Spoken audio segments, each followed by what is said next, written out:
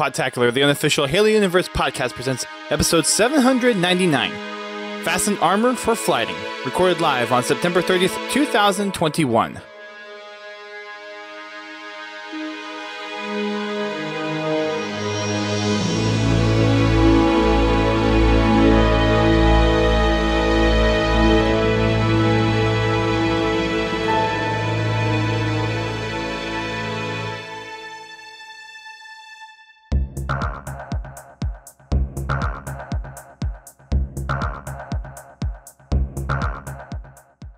Hello, everyone. Welcome to Podtacular, the unofficial Halo Universe podcast. I am one of your co hosts, Dust Storm. I'm your co-host Godzilla T. And I'm your co host, Hoss. And we have quite a bit of news to talk about, and we've got another flight coming this weekend. Lots of good stuff with Halo Infinite happening. I think we're all pretty excited about all of the uh, playtime that we're getting with Infinite. Um, I know we all spent some time this past weekend getting our hands on some of the arena training for the bots and then some of the arena matchmaking, which all of our play dates for the past week were in.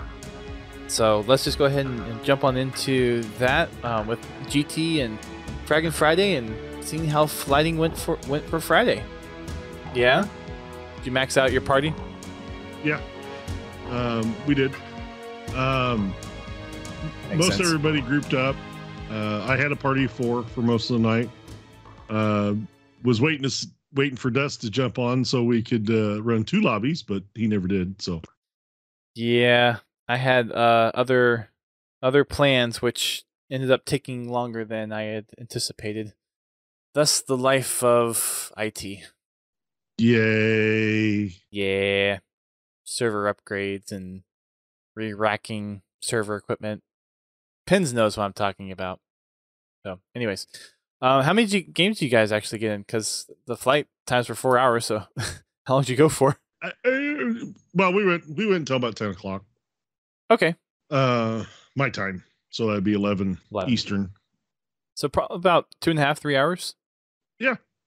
quite a few games. Yeah, we uh we got several games. I like I said, I didn't keep track of them. I we just kept playing. Very nice.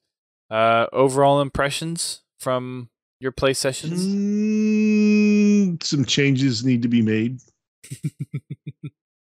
I I feel you there.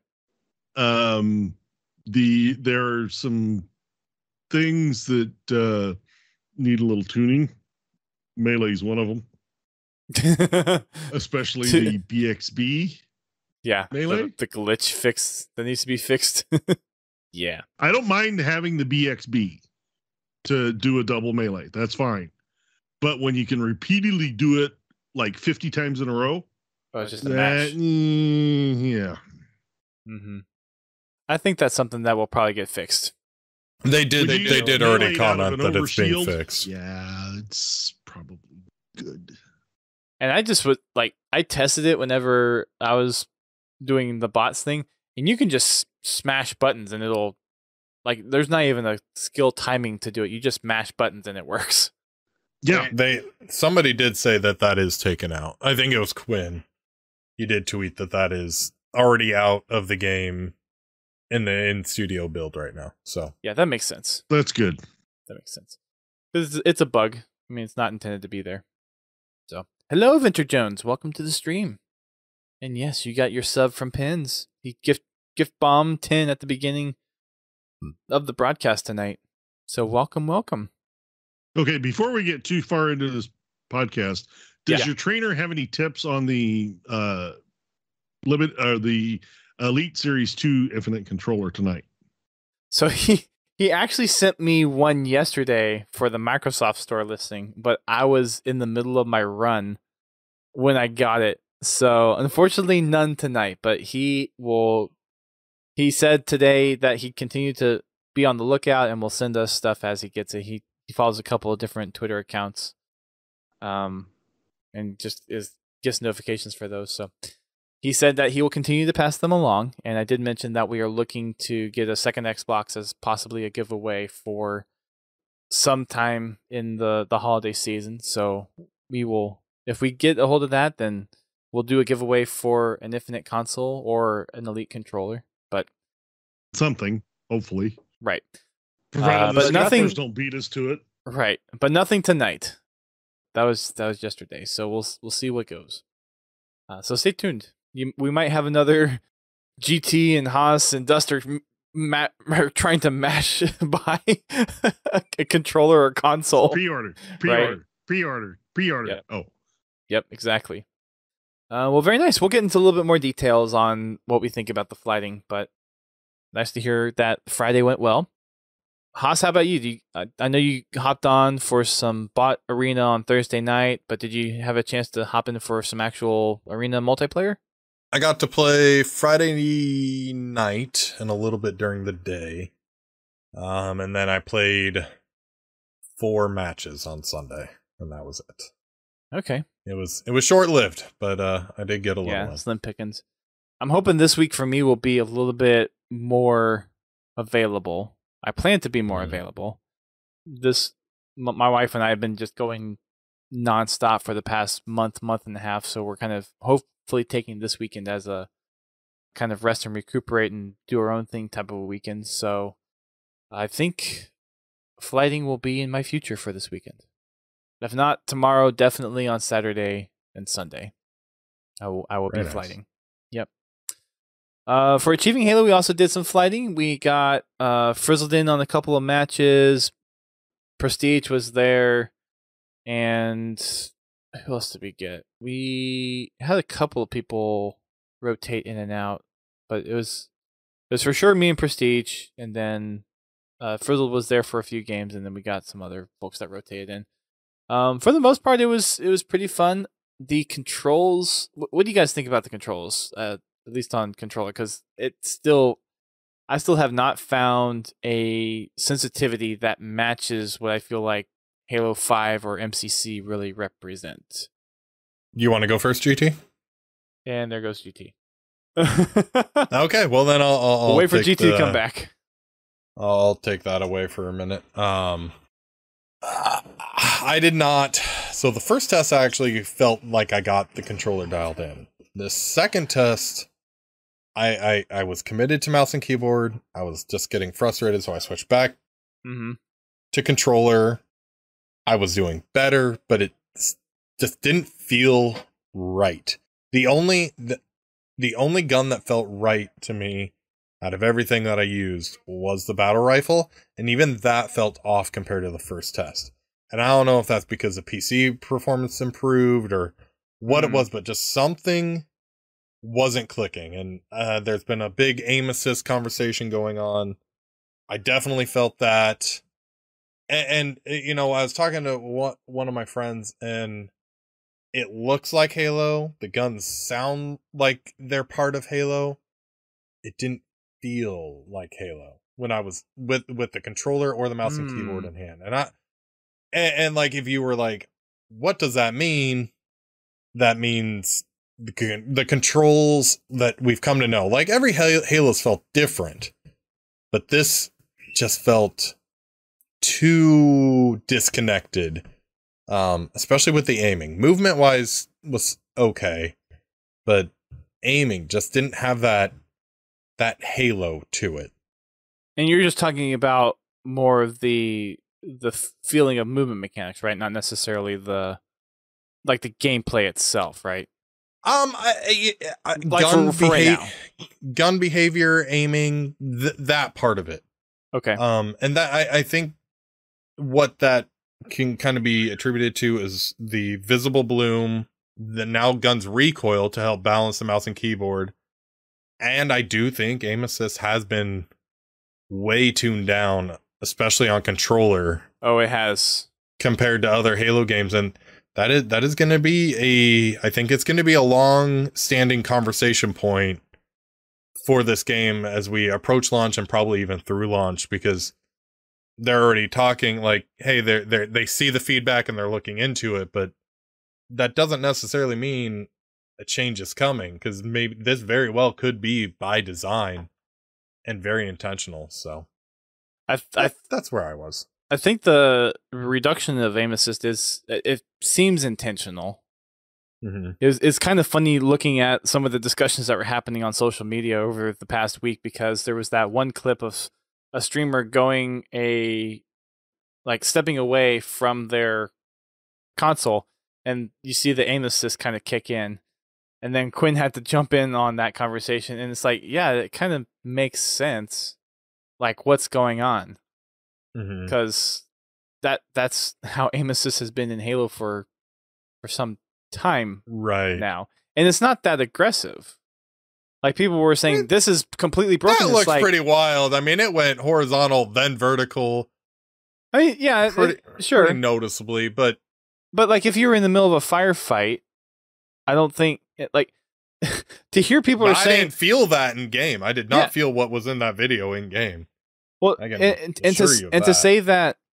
Well, so- so my point in being, you have this one example where okay, aim assist is is probably kicks in a lot more easier in Infinite, but it might not be nearly as much compared to other Halo games. So it's like, okay, you're taking one extreme and the other extreme. So there's obviously a middle ground if people are are saying that both are happening. So there's probably a sweet Yeah, they- spot that people just are not realizing. It's I feel like they've definitely tried to downsize the aim assist, especially since there's going to be crossplay, Mhm. which they haven't really clarified exactly how that's going to work in matchmaking. Uh, I thought they, I thought they did say that was based did- on input. They said social and ranked.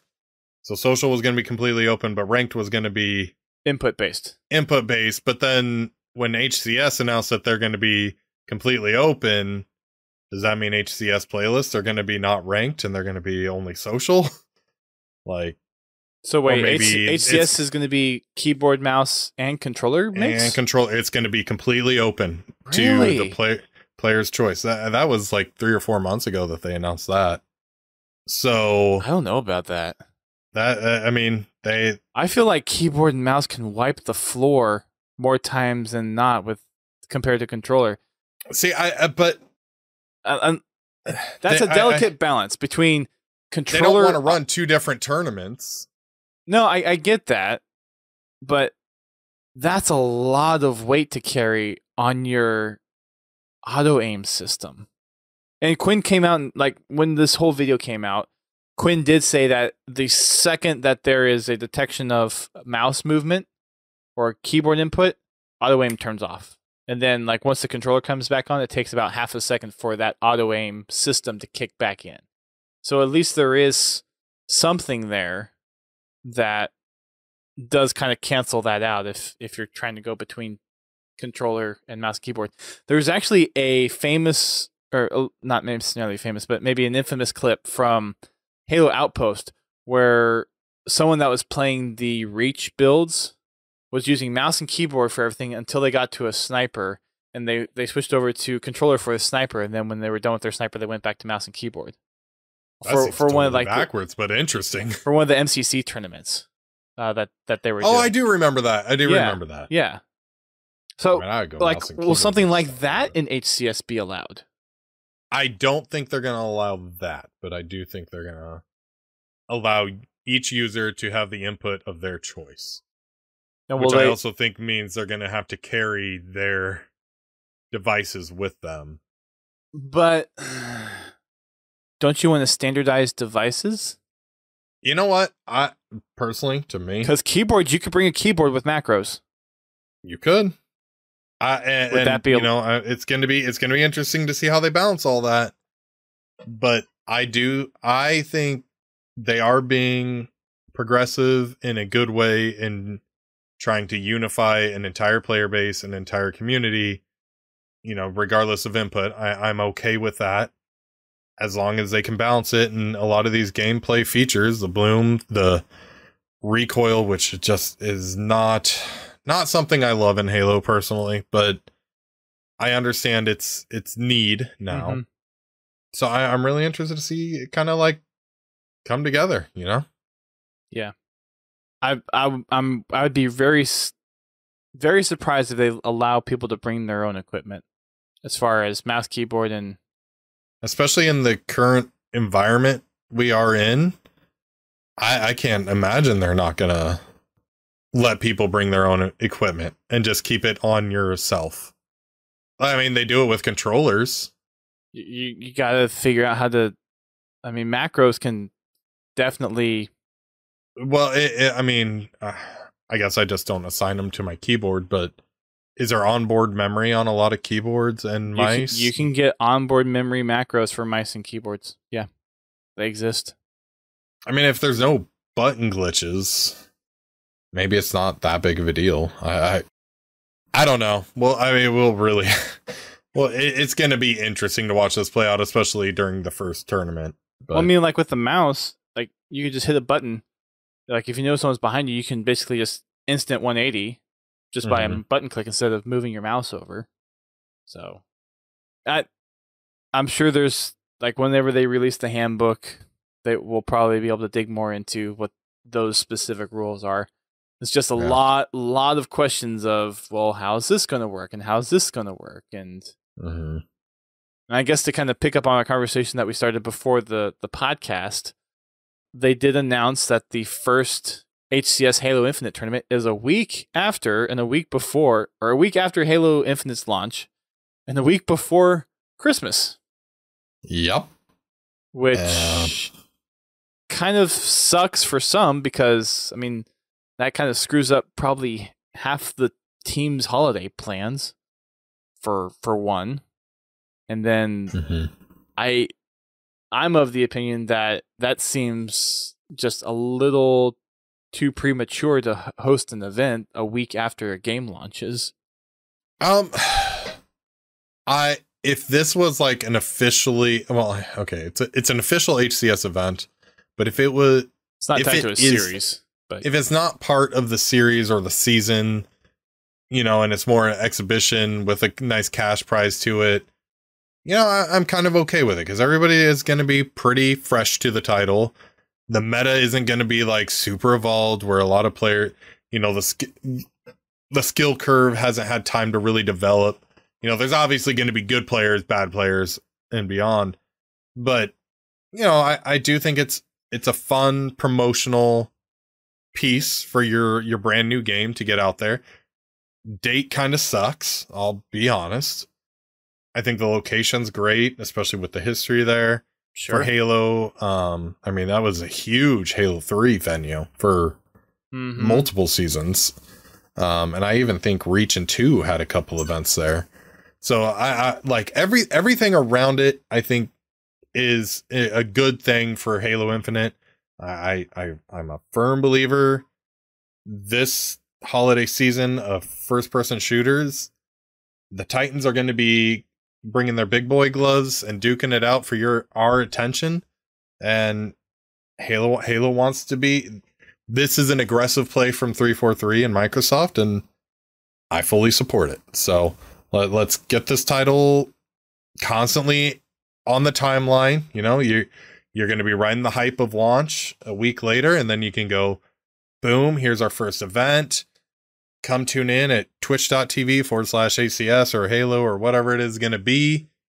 YouTube, you know, the works. And then you'll you'll have a whole nother week of content and promotion going into Christmas. You know, every person gets a Steam or Xbox gift card during Christmas and they just watch this tournament go on and maybe they're like, "Hey, let let's try this game out," or maybe I want to buy this Sentinels team pack, or you know, there, there's a lot of promotional ability you can do here to kind of maybe get like a, a second wave of launch window sales. I just think it, given some of the previous history that we've had with 343 game releases and multiplayer working and all those initial tournaments on the games, I'm just like, a week after launch, like, I, I hope 343 has learned their lessons about making sure matchmaking is working. And, and granted, I think these flights are, are, are meant to help gauge that. And I, I don't recall really hearing any or many matchmaking issues going into this flight, so maybe they kind of have it figured The only out. one I've had is the same one from the very first flight where you launch the party of four into matchmaking and somebody doesn't get in. Uh, but after the first flight, they did say they've addressed that, so I don't know if this is kind of like a similar build without that being addressed in it. or what, but that that's the only matchmaking issue I've really run into. There's been a couple networking issues, but they said there is an update for PC on this flight to Mm-hmm. help that side of it. So, you know, the I am as sick to my stomach thinking about Halo 4, especially MCC's launch, even Halo 5's launch to a point. I'm just I'm really I'm really hoping that that rumored budget for this game and all that has really built systems around that we can have a smooth launch and this game can roll out to the masses. I mean, it, the first three days of this game are going to have huge numbers. There's no Yeah. no doubt about that to me. You know, long term we'll see, but the day one numbers are going to be huge, and there's going to be a lot of eyes on this game, which I think we would have seen with MCC and Halo Five had those games kind of launched smoother. Right. Especially MCC's, I think, affected Halo 5's, but Well, and and I, I guess to take a look at what some things they've already come out with, saying that there's no co-ops at all for campaign and no forge. It, at least it seems like they've made the decision to make sure that there is stability for the game at launch versus having all the features in there. So that does make me hopeful that the game at launch will be stable. mm-hmm. and with all the flighting, they're probably getting enough info to balance things out. And they they've already been actively saying that yes, this is going to be fixed or has already been fixed in the bill. We've already identified this as an issue. I just I don't know. There's there's a part of me that just is like taking that first step is very like based on past experience is very trepidatious and very uneasy going into like the game being out for only a week. I I So- absolutely I, I on that level of concern, I am hundred percent with you. But if if three four three and the HCS team and the Halo team and the Esports Engine team are confident in it, then Yeah. whatever whatever you you create, this is the bed you're gonna lay in. There, there's a lot to gain if it goes well. There's also quite a bit to lose if it doesn't. Yep. So we'll have to see how that goes, and we also have to see how many maps there are. Because if it's just four or five or maps or so at launch, then that can get really repetitive. And how many game modes are there? We know of three. We know of Slayer, CTF, and Strongholds. Yeah, I, I, I'm I'm cautiously optimistic that they're going to have more maps at launch than we saw with Halo 2 Anniversary content.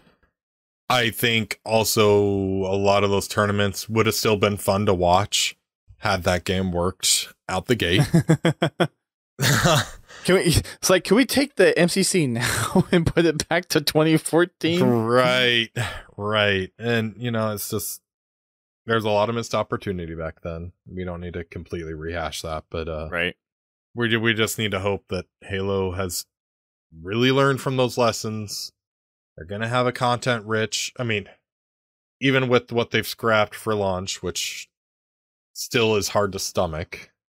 You have to hope that the multiplayer suite is going to be content rich at launch for the core Halo experience, as they say, with you know just four v four, eight or twelve v twelve Mm-hmm. now you know we, we gotta hope that those modes are going to be content rich out the gate for players to really have time and you know a variety of ways to play this game and we'll see Yeah, can't be a Halo 5 either, where it was no three game modes. And how long did it take to get Oddball in there? Like two plus years? it, it longer than it should have yeah. And we don't have any Forge going into it. Uh, I mean, yeah, we don't even have any Forge stuff going into. no forge basic custom game editor is what we can probably guess is like weapons on map you know Yeah. that kind of stuff. It- Yep. It's not going to be go in and put a BR here, BR there. Yep. And Pins is saying, big concern is how secure are the servers? How susceptible, how susceptible are they to DDoS? Yep. And will they even will will they? I mean, they probably will do something similar to the Halo Five server, where they have that local server instance for things like tournaments that they can do. That'd be my guess. But I figured that was a very useful thing because you can at least like if Xbox Live were to go down for, well, I guess everything's still tied into Live, but if you have a low bandwidth issue, then you could at least have that server local.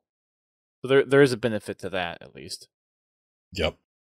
So for the first code giveaway, we are giving away Halo Infinite codes.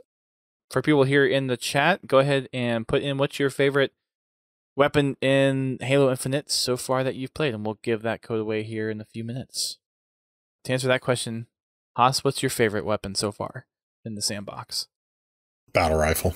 Battle rifle, tried and true. It's the only. It's the only one that feels right. Tried and true. That AR though is pretty nice. I am upset with the AR. Really? yeah. Yes.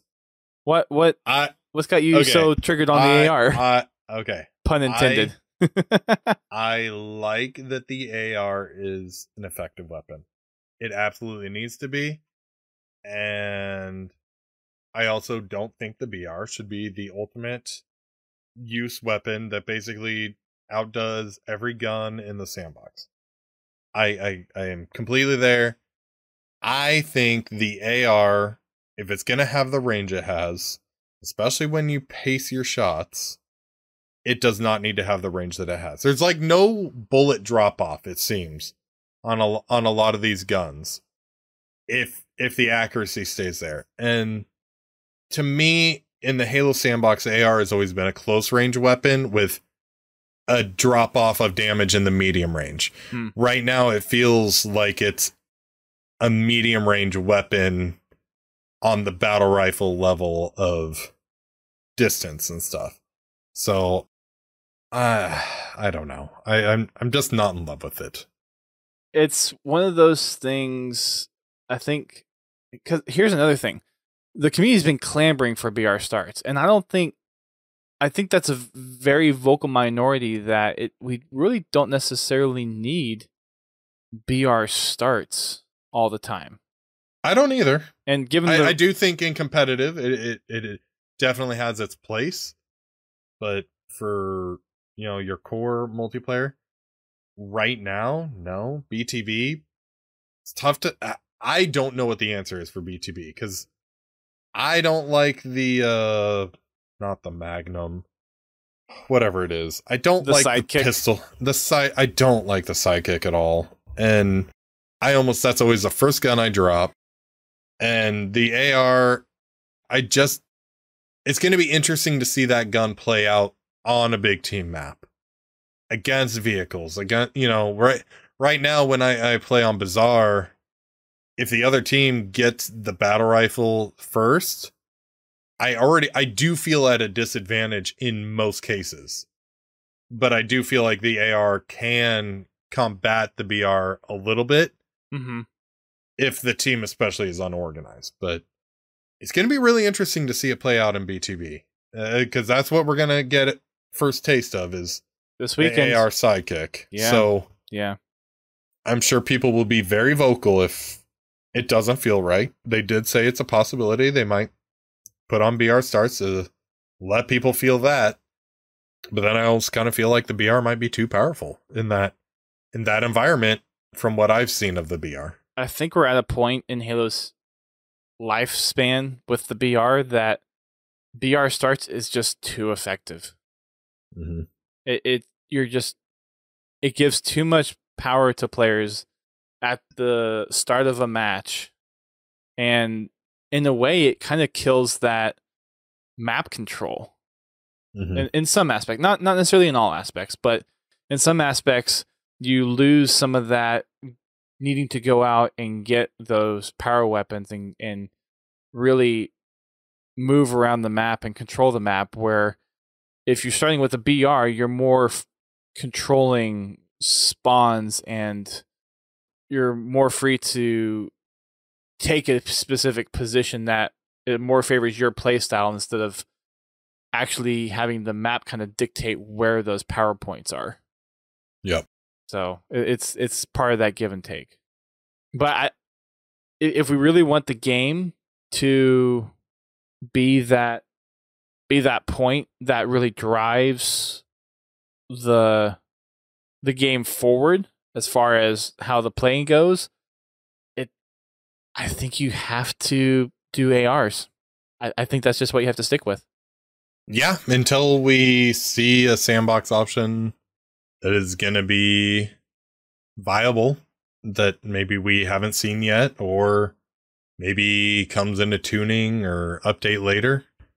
Yeah, I agree. It's just where we are right now. I don't know if we're going to see, you know, a traditional Magnum or a different AR or SMG or maybe a new rifle that we don't even know about. We'll see. We'll Yep. s- we'll see. We'll see what comes. Yep. Yeah, we haven't seen the full sandbox yet, so No. Correct. Uh, and even you know, balance that with um, what else is coming. mhm. It's really hard to judge at this time. So, you know, I do agree with the fact that the sidekick is underwhelming. It is useful in skilled hands, but it is very unforgiving.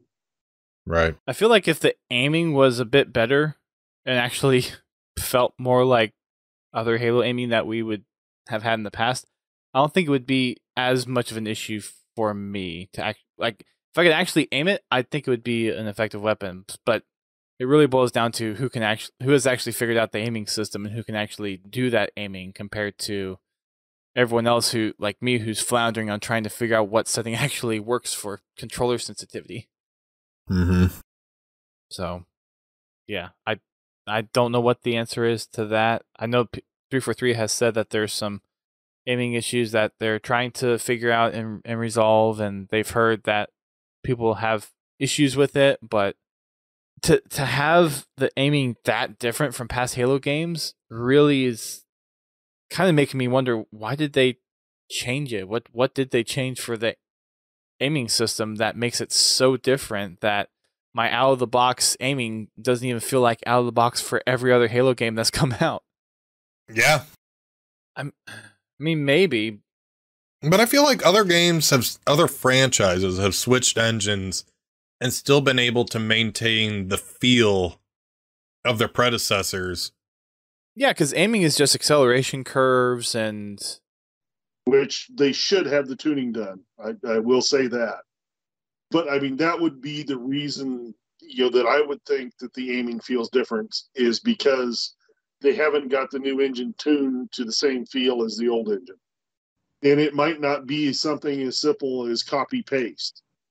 yeah, I mean, Uh, yes, it's acceleration curves. Yes, it is, you know, all this other stuff. But the way the system processes that information and the speed at which the system processes that information could be totally different. technically yes, but with how to to oversimplify what we're talking about here, with how simple aiming is, where it's just taking a a value and converting it to okay, how many how much am I moving in in the world x y z coordinate to have it be that different they're either massively changing stuff which not sh- not sure why they would do that or there's something else un- in the underlying system that's not working the way they want it to Well, I'll tell you this much with every single Halo game, I have to adjust my aiming. It's not that consistent between games. I mean, I I do too, but there's at least a point where I can get into a rhythm of okay, like I I hone in on getting that feel back. So like jumping between MCC and Halo Five, there's obviously a little bit of a difference, but I've got them configured enough to where that difference is small enough where after a couple of games, I'm right back into the nuance of that aim uh, aim system. But for Infinite, I have no inkling to MCC or Halo Five. I have like the whole horizontal and vertical, and then this the acceleration. I haven't figured out what I need to change to actually get something that's at least close to what I play with in Halo Five or MCC Yeah, I I, I completely on agree. controller. On controller, I will I will clarify that because I haven't done mouse and keyboard as much. I'm getting better at it. Um, it's still kind of foreign to me as far as um, the feeling, but uh, you know, it usually takes me a, a good week of play to really get tuned in on a particular um, control Game. scheme for where I feel comfortable with it. The um, you know that's why I generally jump into campaign first, so I can I can really get the feel of the game before I jump into multiplayer. Now, some I pick up quicker than others. Like Halo Four, I picked up. You know, it was uh, you know a couple of days before I felt comfortable in it. Same with you know, same with Reach, but Halo Three, uh, it took me a little longer to get the feel for Halo Three than it did any other games. Halo 3's system was is still And you know, I'm not even talking about the bullets. I'm just talking about the feel of the aim. Yeah yeah yeah yeah. I get you. Um, so I'm willing to give them a little latitude on that particular point. I do do say it does need some more adjustment before launch. You know, it's it all could be. I I don't know the reasoning behind it, and I'm not going to even theorize the reasoning behind it. But it, you know, it may Yeah. it may be something we may just have to get used to. It may have to Yeah. play around with this to get it to feel closer to what we expect it to feel like. And yeah, that that very well is probably the case. It just it's frustrating that it's not more akin to past sensitivities out of the box. Because my sensitivity, my sensitivity from default Halo from the past is is just a tad more sensitive. So like if the default was three, my sensitivity is four. So like it's not that far off, but know, mine spreads a little bit further than that. Yeah, I mean that's, but but but still, it's it's kind of one of those things where I wish it was a little bit more tuned in to how previous Halos felt, so people could like make that transition without having to re, without having to learn some completely new aiming system just to, yeah. You mean like the Halo Three? No, they wouldn't need to do that. Anyways, we probably spent enough time on the whole aiming mechanic. For other aspects of the flighting from this past weekend, did you all get the, the chance to play the the new map, uh, Behemoth? What did you all I think? played Of, two matches okay, what did you all think of that map? for a casual PvP map with 4v4 and I believe a V8 ability and scale. I think it's a fantastic map aesthetically, much better than what I thought we saw in the preview um The demo the week before. Being on the map, I definitely felt more in the Halo universe. Univoice universe. I, I thought it was a good map. I, I totally didn't get to figure out where all the weapons were and everything like that, but I did. I I really did like the flow of it, the speed of it. Um, I think for an AV8 map, it'll be just complete chaos. Or I guess it's not AV8. I keep thinking it's AV8. So 12v12 may not work. I don't know. But if it was Right. 8v8, I definitely think it would be a fantastic map. Um, 4v4 might be a little too big, but it didn't feel that large playing it for me. So Fuchs said that for him it felt like Harvest from Halo 4, which I'm kind of scratching my head on that because Harvest layout is very different from what I remember in Harvest. play because I mean Harvest was kind of a oval when it comes to vehicle tracking with basically a pedestrian point in the mis- middle with the Mhm. center building. Yeah, I, I yeah, I I would agree with that. Okay. And, um, hmm. For me, four v four seems the map seems a little big for that. You know, like a six v six probably be would be really comfortable on that. Uh, Eight v eight would be uh, applicable, but I think that would be about the ma- max for it. Well, I wonder if 8v8 is even really going to be a thing because now their their new BTB is 12v12. So is is 8v8 other outside of customs even going to be a a thing as far as normal matchmaking or competitive event type stuff may may go? I guess. I mean, there's probably going to be other like fan tournaments out there that do 8v8 for things that that work, but as far as matchmaking goes, is that is that even a thing anymore? The Spider-Man map, I, I don't know. My, I, I will say from from me and Behemoth when we had a couple of CTF games on Behemoth on Sunday, those vehicles are just OP for CTF. I didn't feel that way. Oh, we just got slaughtered. Like I had I had fun in the ghost, but I felt like I was taken out rather easily once the team was focused and we took out the Warthog really quickly in each game that I played. I mean, maybe it, the the experience will change per match depending on how coordinated your team is or not. I I, I mean, I don't know, but I didn't. I I did see your tweet about that, and I I personally didn't experience that same getting getting knocked down that heavily by vehicles, but that definitely does happen. I mean, even in Halo 4 when I think all the vehicles are paper mache, yeah. There there are moments when vehicles just decimate everybody and that could be a, a more of a team thing than an individual kind of thing. I just felt like in in order for us to take out a vehicle, we had to focus as a team on that vehicle. And by the time we were doing that, the other two players, if if they weren't in the hog, had the flag already halfway across the map. Mm-hmm. There wasn't a balance for actually having good defendability or or offense if you didn't have the warthog. Really, if if one team had the warthog, like if one if one team had both vehicles, you were absolutely screwed. If one team had the warthog, then it, it's not easy to unless you could get some kind of shock weapon to at least disable it and maybe take out the gunner.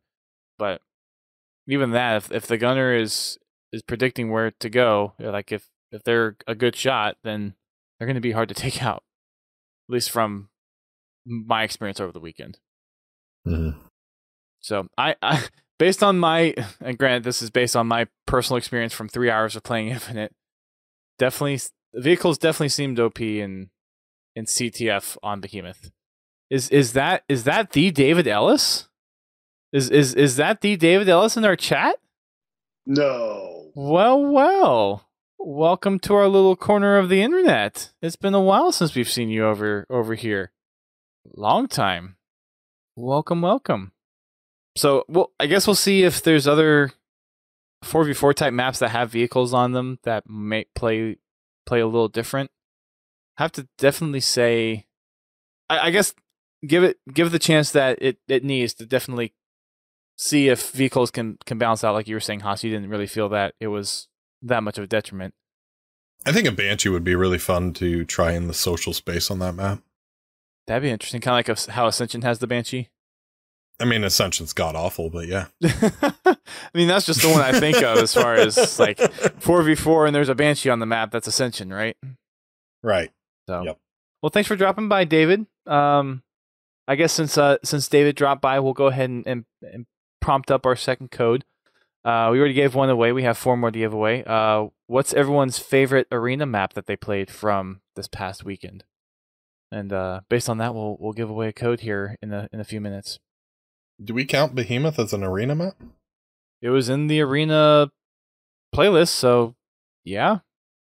Okay. We have- so modern ar- modern arena. Got it. From this past weekend. Favorite Yes. map, last flight. There you go. There you go. Favorite map from the last flight. There we go. We got Behemoth. We got Bazaar, which I think Bazaar is.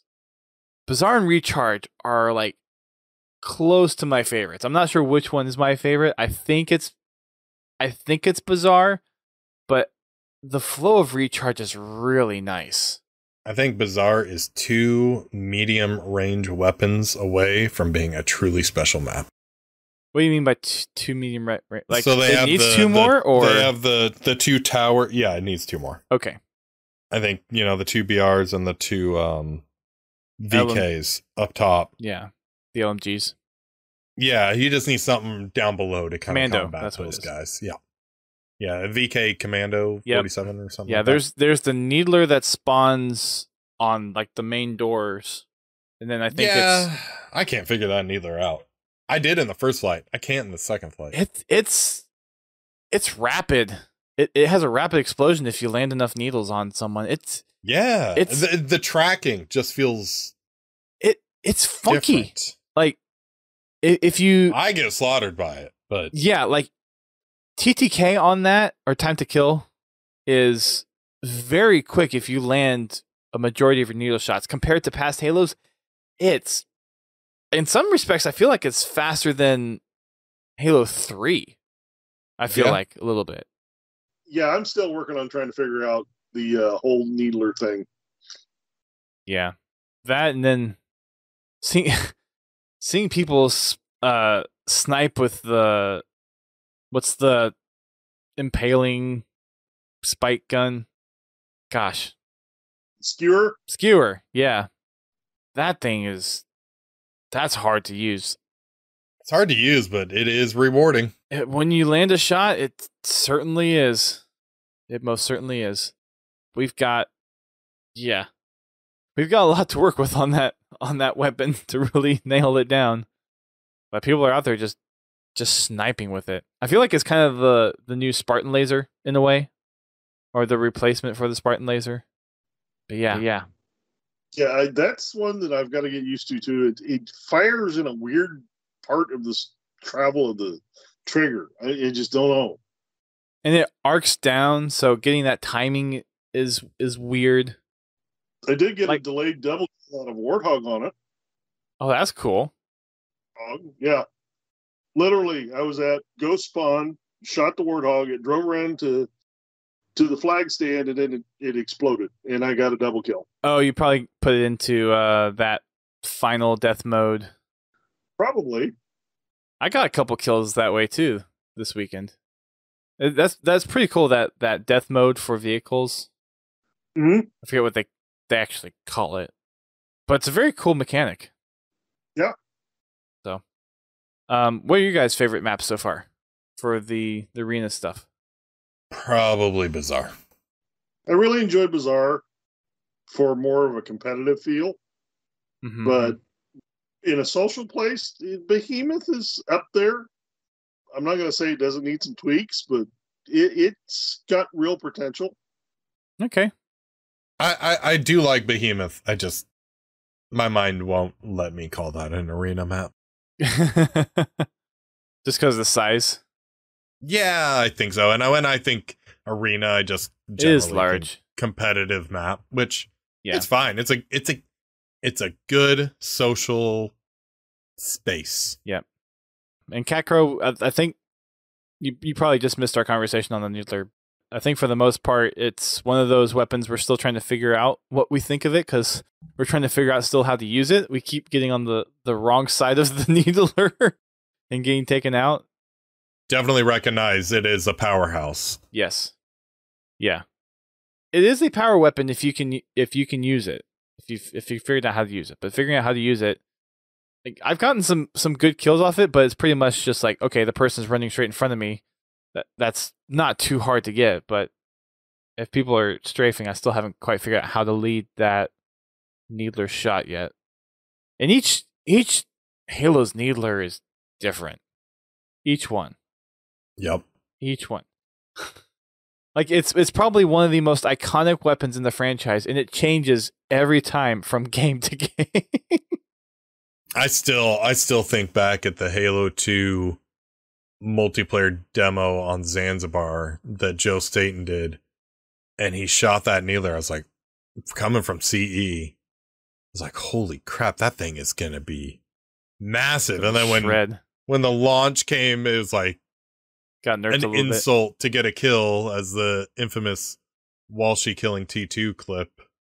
I don't even know if I've seen that one. Oh, yeah, yeah, on Sanctuary. He he killed T2 with the needler and the crowd went nuts because it was just the disrespect of doing that It's like insult to injury. in a tournament. Yeah, it was uh really something. But uh Hey, use what you got. yeah. I mean, he did it just to really throw some Just to rub it in. Yeah, it, it wasn't like uh I'm in a pinch and I need a needler. It was I'm gonna pick up a needler and just show this guy how much better I am. it was pretty great.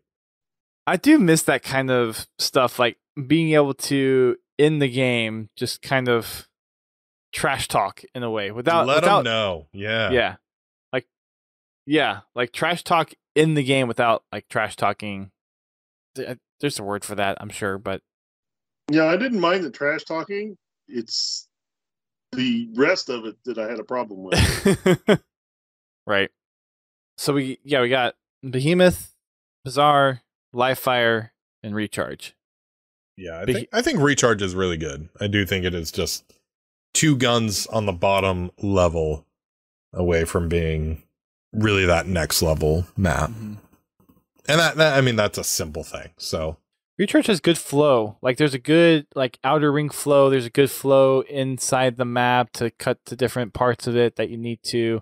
It plays really well with strongholds and Slayer.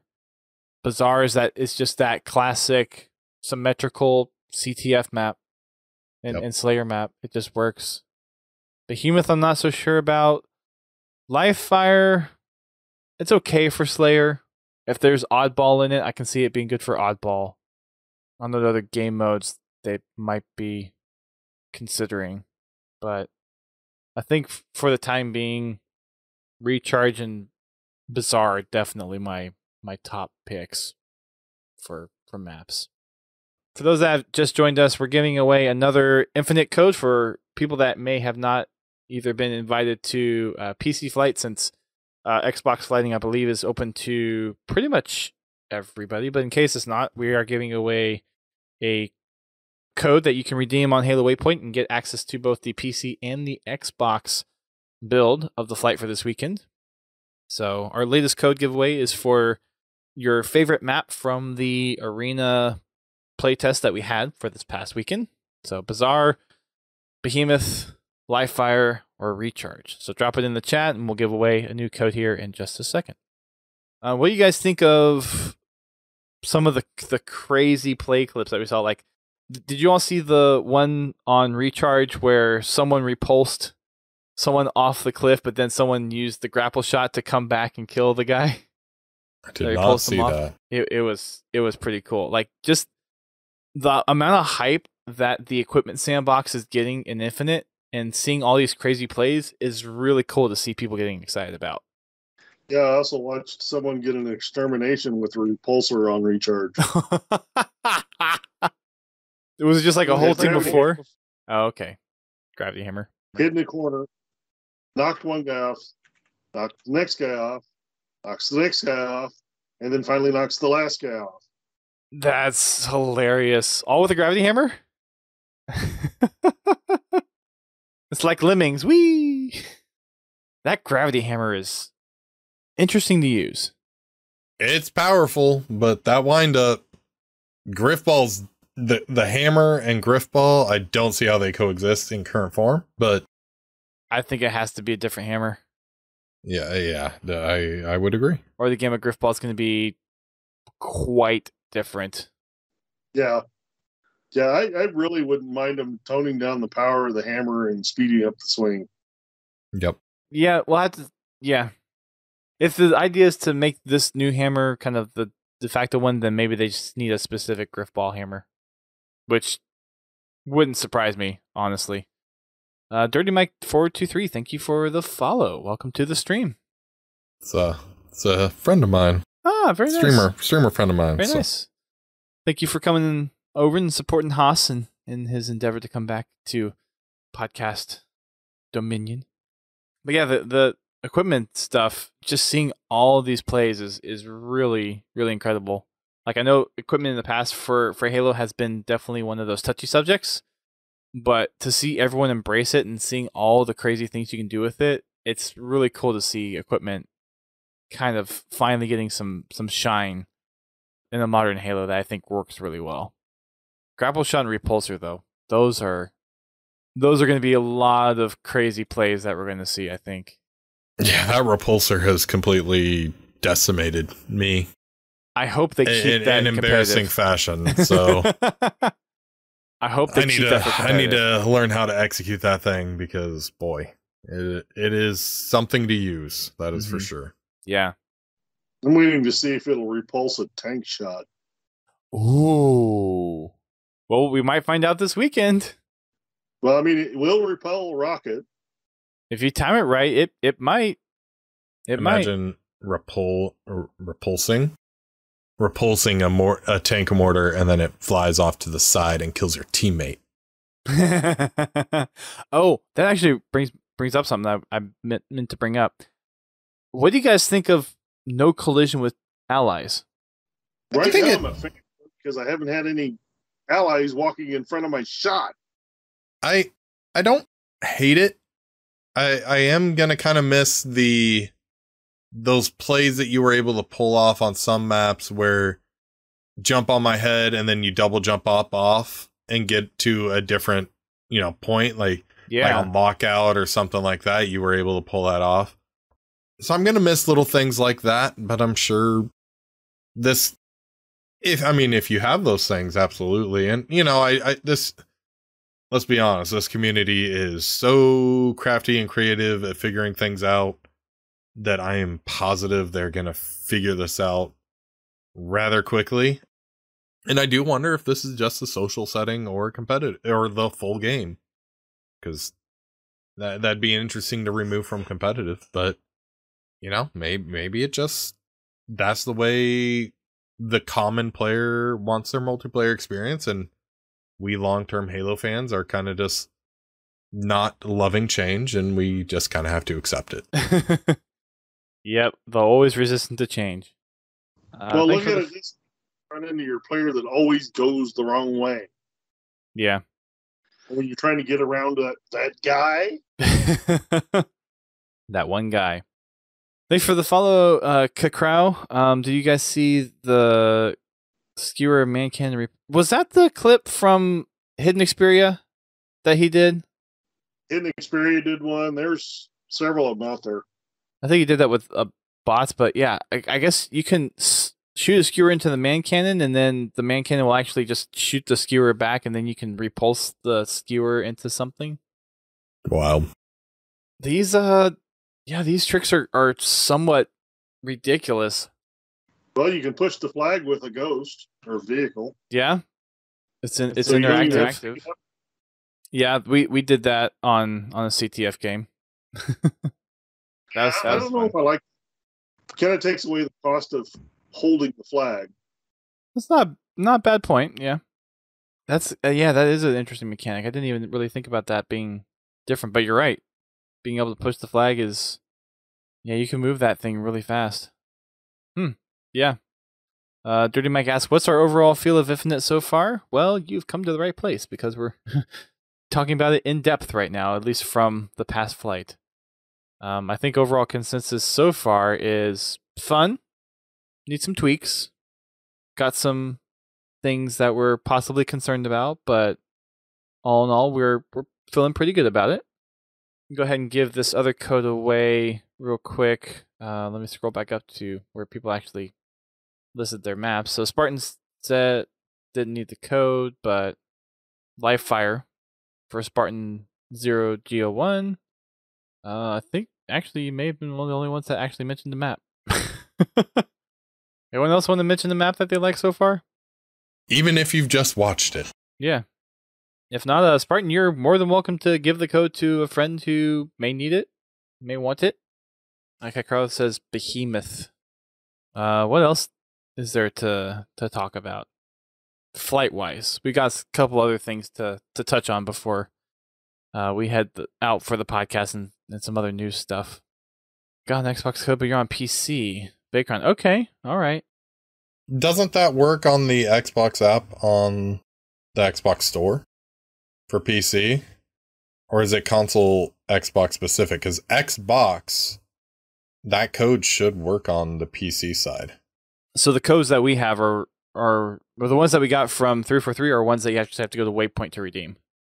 Oh, Yeah. They're they're Waypoint, they're Waypoint codes, and then you actually get instructions on how to redeem it for PC and Xbox. So, but yeah, I believe pretty much everyone on Xbox now, if they're part of the Uh, although Uh-oh. all those people are bots. yep, but we got. You accidentally banned Oh, Rainmaker. I did not want to ban Rainmaker. Shoot. Uh, I unbanned Rainmaker. Gosh, those And pens. they just had to be here? named Hoss. Right. Uh, sorry, folks. We are dealing with the um, the hate bots at the moment, so give us just a second. But yeah, for the um, most part, we talked through the maps. We talked through the weapons. Talked about equipment a little bit. I don't think there's really anything game mode that we need to talk about because there's pretty much strongholds, Slayer, and CTF, which we're all pretty familiar with back in from Halo Five. Anything else you guys want to talk about? I, I don't got much right now. Beyond that, Uh, we can talk about the academy, or um, the training mode stuff. All the the new features that you can do with the bots, where you can hop into a map, select your primary and secondary, all your grenades, all that stuff. I, I Any feedback there? for the resources argument that has been presented for a long time, I'm just sour towards both of those. So I, I cool, cool for the people that are going to use it. I don't know long term what the use is going to be. I really don't. was the training mode up yet? Like the one where you can there's like some kind of training course that you can go through. Was that actually up yet? Because I don't remember actually being able to find that. that. No. Okay. Okay. Hmm. Well, BTB flighting is this weekend. We get to play on fragmentation. Lots of play going to happen on that for sure. I believe Arena is going to be up as well for some of this. So if you still want to hit up some 4v4 matches, you can still do that amidst the BTB type stuff. So I think for this weekend, it's pretty much open to whatever you want to do during the time frames that you want uh, want to play, as long as matchmaking is open. Just a reminder: matchmaking is only open during the specified times, so it's going to be ten to two Pacific time on Friday, Saturday, and Sunday, and then five to nine Pacific time on Friday, Saturday, and Sunday. So we got six play sessions, all four-hour sessions, so plenty of time to play. We also have a new emblem for those that actually complete 10 matches in the flighting this weekend. And then we've also got the play date that's happening tomorrow. GT, do you have any more details on that one? I, I I just know the announcement was made, but I haven't really looked into it. Um, I know if you match them, you get a nice unicorn skin. Uh, you'll be one of the first in Halo Infinite to have it. And let's see, there is a YouTube like time hold for that uh at noon Pacific tomorrow. Looks like. Okay, so that'll be 3 p.m. Eastern Time, 8 p.m. Uh, British Summer Time. So it'll be a two-hour window. Okay. So I might be able to sneak in there for a couple games. We'll see how it goes. I don't, I don't know how large their party is going to be. Probably four at the max. So you have twenty options or twenty opportunities to match with them in a in a single game. So we'll we'll see how that goes. Kakrao, since you um were the only other person to mention the map, uh, we'll go ahead and give you the code for this round of giveaways. So the code that we're giving away will be use redeemable on Halo Waypoint, and then you'll be able to access the flight on PC or Xbox, whichever you choose. So uh, enjoy, have fun, share that code with whoever you want to. You can use it yourself if you need to, and yeah, we got a couple more codes to give away for for tonight. Uh, and I just whispered that to you, so check out your whispers on Twitch. We didn't talk about this last week. We meant to, but Hoss, you want to take us through the uh, HCS top 25 since we forgot to talk about it last week? um, it definitely drove interactions. It certainly did. It's most maybe interact maybe interactions is not the right word. It definitely drove reactions. um there were some definite shocks. There was some definite resentment towards some of the placements. All the pros. I think ultimately a lot of the longer term Halo pros are satisfied with Ogre 2 coming in at the one slot, uh, beating out Lethal. Um, I think the video packages they did for the top 10 were phenomenal. If you really, if you haven't watched those, go to the HCS YouTube page, give them a watch. They they are really cool. It's a cool insight into some of the Halo history. But I mean, quick breakdown of the top 10. You had Frosty at 10, Lunchbox at 9, Walshy at 8, which was a huge shock to a lot of people. Roy at 7, Snipe Down at 6, Royal 2 at 5, Pistola at 4, and Snakebite at 3. And I think those three right there were the ones that totally blew people away. Uh, a lot of people felt Pistola should have been in the top three. Him, Snipe Down, and Walshy were all kind of like considered the three uh, where Ogre 2 and Lethal were always considered the 1 2. But yeah, that that 3 through 10 got really crazy. There were some there were some slots in the bottom half of the top 25 like Ogre 1 falling to 11, T squared falling at 17. Those were two of the probably bigger controversies. But it it drove reactions. I'll just say that. You know, people were talking about HCS. It got eyes on HCS and the account. Um, you had people from all different competitive communities kind of chiming in because a lot of these older Halo pros, especially, were kind of the pioneers in the in not just Halo esports, but in competitive shooter esports, taking it to the main stage. So a lot of these people are like childhood heroes to a lot of modern esports pros and so it, it ultimately i think it was a good thing I, I my top 25 looks totally different but in the end that's the list and they're sticking to it I just had this random thought. How funny would it have been if Ninja was on that list? the world would riot like he he, he was I a mean- good pro don't get me yeah, wrong back in Halo 2 days, he, he, was. won he won nothing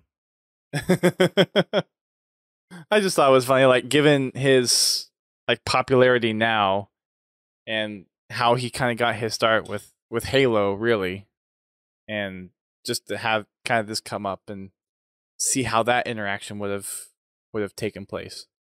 A funny, funny little story. We have a, a neighbor who, um, uh, her grandson stays with with her, and he's really into Fortnite. Really loves Ninja. So when Free Guy came out, kind of mentioned that, yeah, I got to to meet Ninja, like back in the Halo Two, Halo Three MLG days when I got to attend Dallas stuff. So he he got all like starstruck when like he heard that I've actually met Ninja and, and talked to Ninja before, and told him that he he was big before Fortnite. Like he got like his start in Halo and, and whatnot. So, and then I have a few other people that have like through watching Free Guy also say like, yeah, I, I I've met Ninja before. so, it's it's just interesting to to see how far far he's risen in in the streaming game and just to kind of look back of like, yeah, knowing him from his roots, not from where he is today with Fortnite and everything. So just just an interesting little tidbit. And that's a good question, uh Kakrao. Don't know if Ninja would would come back into Halo esports. I think with his streaming career, I I don't know if esports is something that would be up up his alley or something he consider. I mean, he he's definitely going to play he's Halo. teased it he's been teasing it Oh, really? Like to Yeah. legitimately compete? he, he just keeps saying he's keeping eyes on it i mean we'll see what that means but I mean, he's going to play the game for sure. Oh yeah, uh, but there's been speculation that he's interested in a competitive return. So we'll we'll see. Interesting.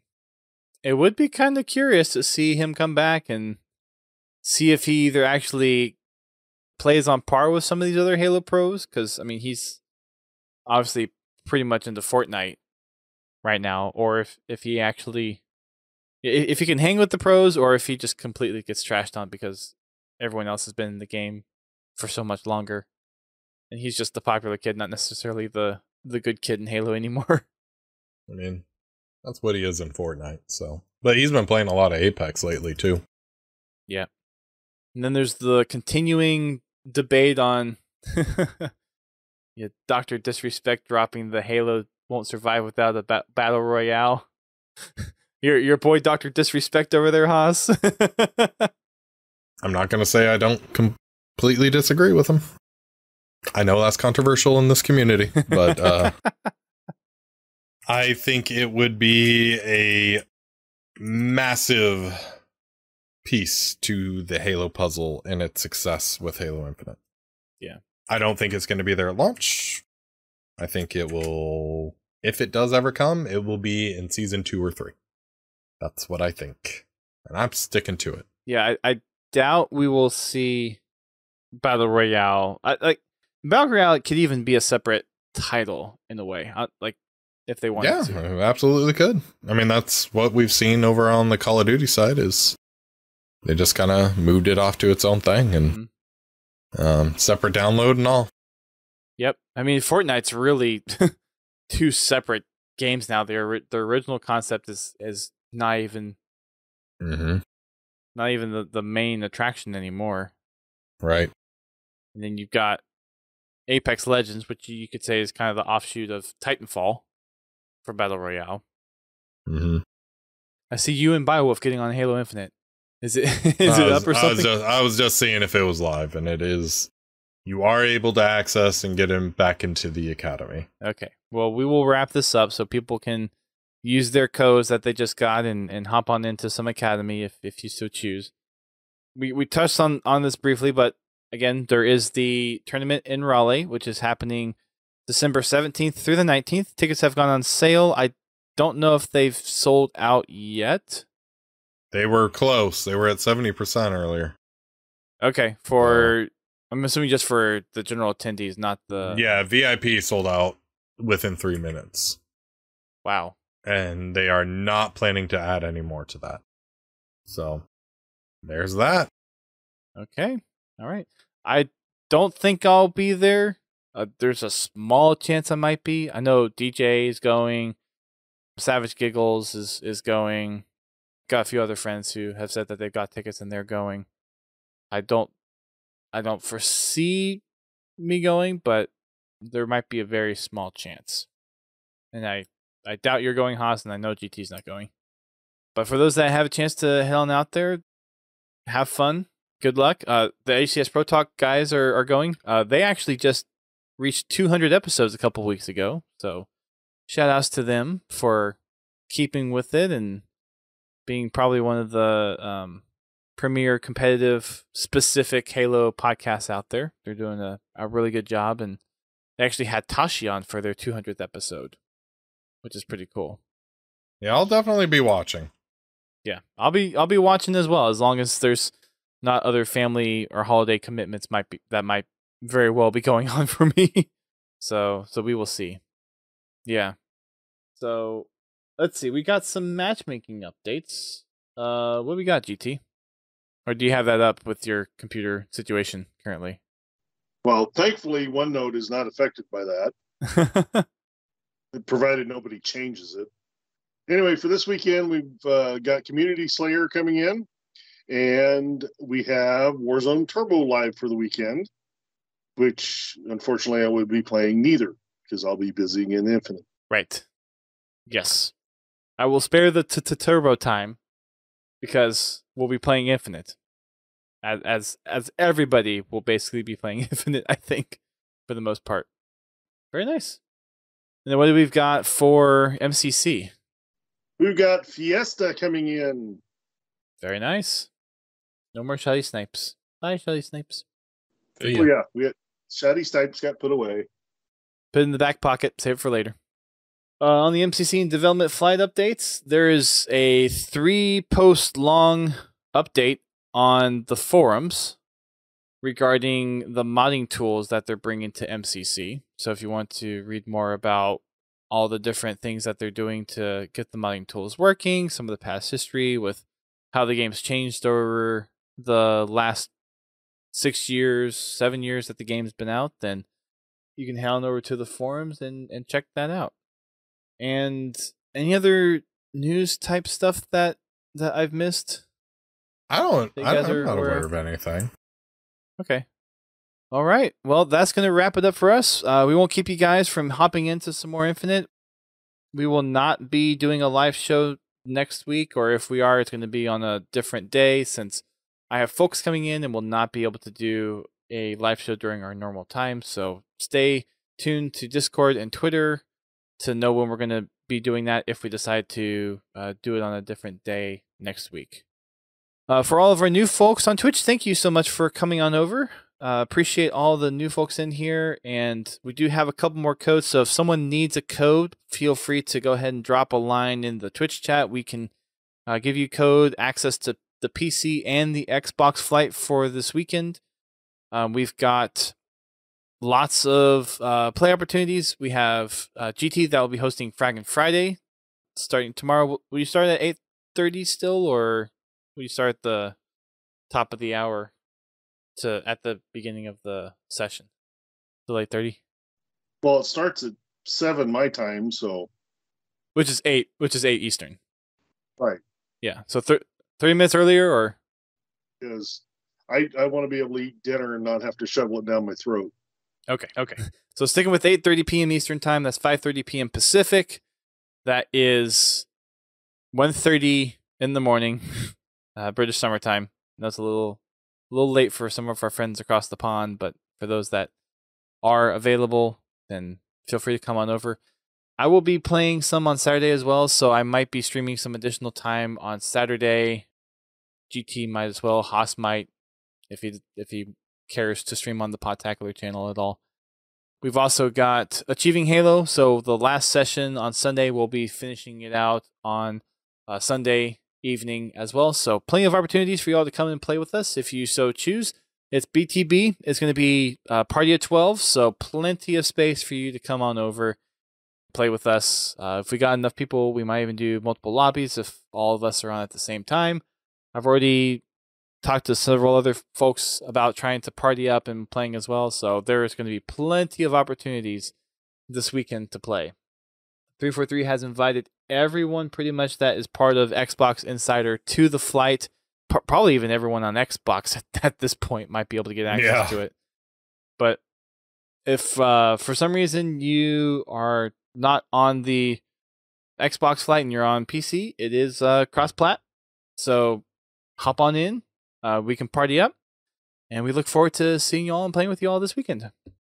You can check out the podcast on social media. We are on Twitch, Facebook, and Instagram. We also uh, broadcast the podcast and all of our streams on Twitch. You can catch the podcast every Thursday night at 8.30 p.m. Eastern Time at podtacular.com slash Twitch. You can join the community over on Discord, podtacular.com slash Discord. That is where we hang out most of the time. And for the times that we go through Tales from the Foxhole, you can drop any cool Halo stories or moments. If you've got clips or funny stories from the flight, please drop it in our Discord. Please uh, hit us up on Twitter.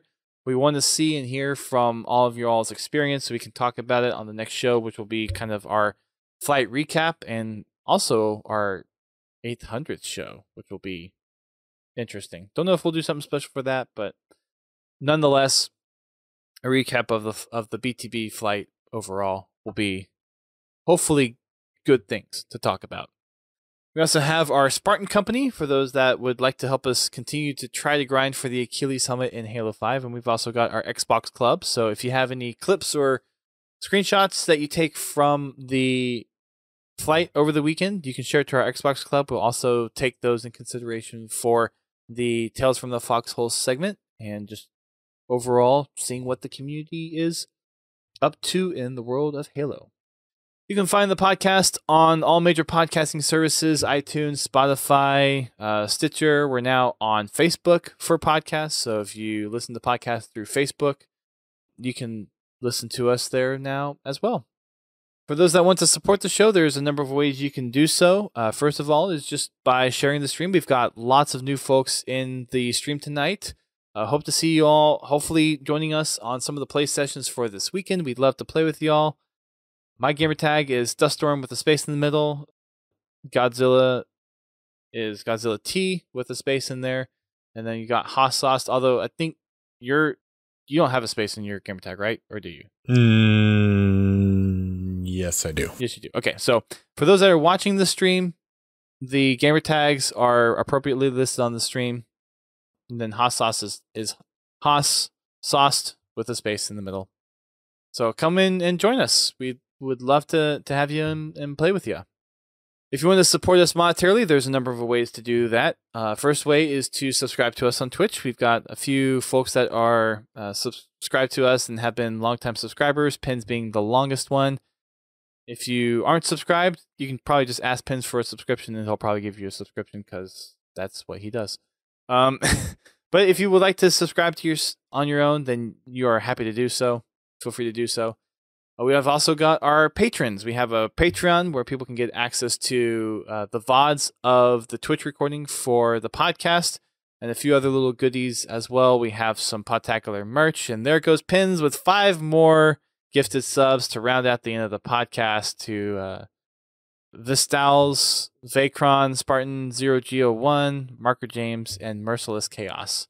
Dang, it didn't even give one to uh, Kakrao, who's probably one of the more active people in the chat tonight. wow. Okay.